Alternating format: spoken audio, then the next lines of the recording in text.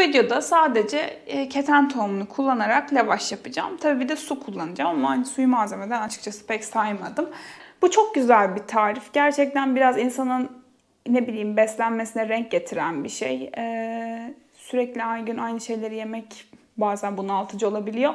Dört farklı da e, yapabileceğiniz dürüm tavsiyesi vereceğim. Bir de dışarıya yemek taşımak istiyorsanız da gerçekten güzel bir e, çözüm oluyor bu. Gel şu an pandemide çok öyle dertlerimiz yok ama hani bir gün tekrardan inşallah hayat normale dönünce gerçekten e, güzel bir alternatif. Keten tohumunu öğüteceğim. Bir su bardağı keten tohumunu öğüteceğim. E, ama siz öğütülmüş keten tohumu kullanacaksanız bir artı bir buçuk su bardağı e, kullanın. Çünkü bunun şeyi artıyor öğütünce hacmi. Bir de buna ekstra olarak bir yemek kaşığı fazladan öğüteceğim. Ee, onu da çünkü lavaşları e, merdaneyle açarken kolaylık sağlıyor. Gördüğünüz gibi öğüttükten sonra bir buçuk su bardağı oldu. Ee, şimdi bir, bir su bardağı kaynara yakın bir suyum var. Tam kaynatmadım ama oldukça sıcak.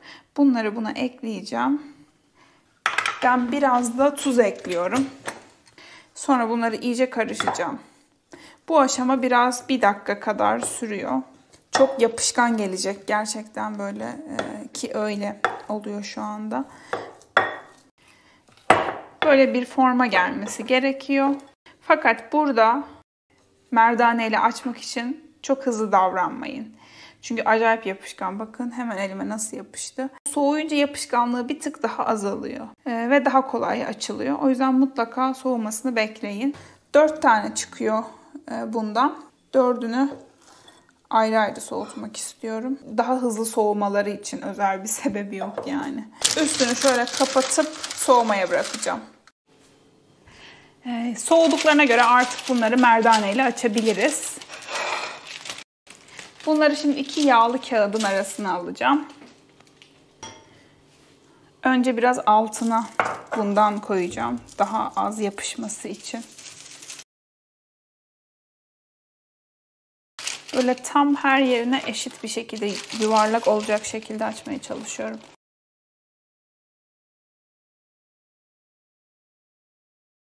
Tam yine de mükemmel bir yuvarlağını olmasını istiyorsanız eğer şöyle yapabilirsiniz. Böyle bunu koyup etrafını da şöyle bıçakla kesiyorum. Önce etrafındakileri alacağım. Bu arada artan parçalarla da e, beşinci bir lavaşı da yapabilirsiniz. Tabii bunu kaldırırken çok dikkat etmek gerekiyor. Evet böylece tam mükemmel yuvarlak olmuş oldu. Çok gerek var mı tartışmalı. Kısık ateşe biraz yağ koyacağım.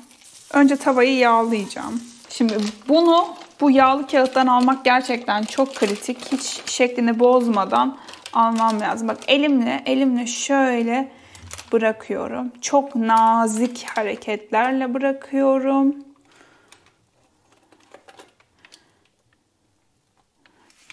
Daha sonra yine tavanın her yerine gelecek. Bir kere koyduktan sonra şeklini değiştirmeniz çok zor. O yüzden gerçekten tavaya koyarken çok dikkatli koymaya çalışın.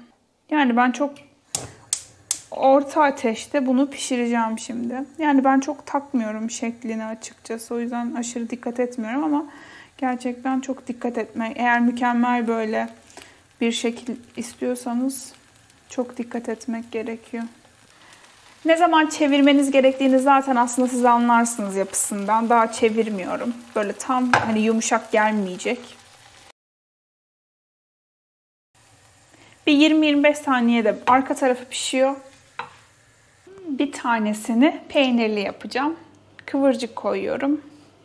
Beyaz peynir ve üzerine biraz da maydanoz. Bir tanesini avokado ve yumurtalı yapacağım. Önce avokado sosunu hazırlayacağım. Önce yarım avokadoyu ezeceğim. Çok az, bir çay kaşığından da az böyle hardal ekleyeceğim.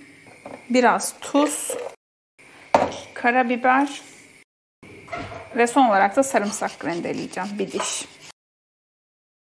Ve limon suyu da koyuyoruz. Ben unutmuşum da eklemeyi. Daha sonra avokado sosunu lavaşın her yerine yedireceğim yumurtaları da fazla pişirmişim. Neyse benim canım sağ olsun. Hatta muhtemelen bir tanesi fazla bunun. Bir tanesini de köfteli yapacağım. Kıvırcık koyacağım önce üzerine. Daha sonra üzerine köfteleri koyacağım. Domates koyacağım. Biraz da maydanoz. Aslında buna soğan da çok güzel gider tabi. Ama şu an hiç ağzımda soğan tadı istemiyorum.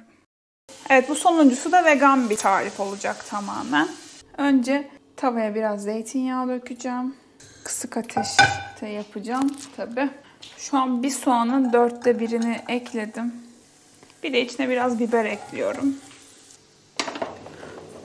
Soğanlar kavrulana kadar bunlar böyle pişecek. Şimdi ıspanakları ekleyebilirim soğanlar kavrulduğuna göre. Tuz ekleyeceğim. Karıştırıyorum. Biraz arttıracağım altını. Bir 5 dakika kadar da böyle pişsin. Ispanaklar piştikten sonra artık alabilirim ocaktan. Keten tohumuyla lavaş yapmak çok kolay. Birçok ketojenik tarife göre de çok daha ekonomik bir tarif. Ee, istediğiniz gibi birçok e, dürüm de yapabilirsiniz. Umarım beğenmişsinizdir bu videoyu. Görüşmek üzere.